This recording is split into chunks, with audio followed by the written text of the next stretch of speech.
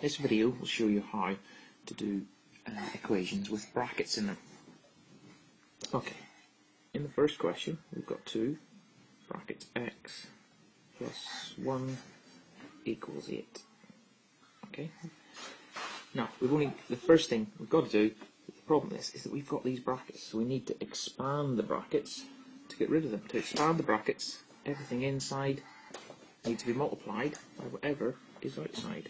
So we need to do 2 times x and 2 times 1. So when we do that, we get 2x plus 2 times 1 is 2 equals 8. And then we solve the equation in the normal way. Okay, so if we look at this equation, x has been multiplied by 2, then we've added 2. We've got to do the inverse of that.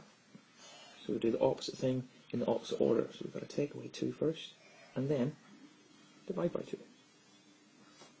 Okay, so take away 2 from both sides, and you'll be left with 2x equals 6. Divide both sides by 2, and you get x equals 3.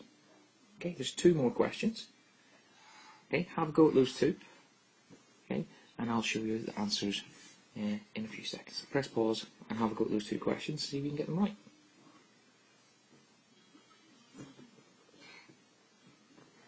Okay, question four. You should have got x equal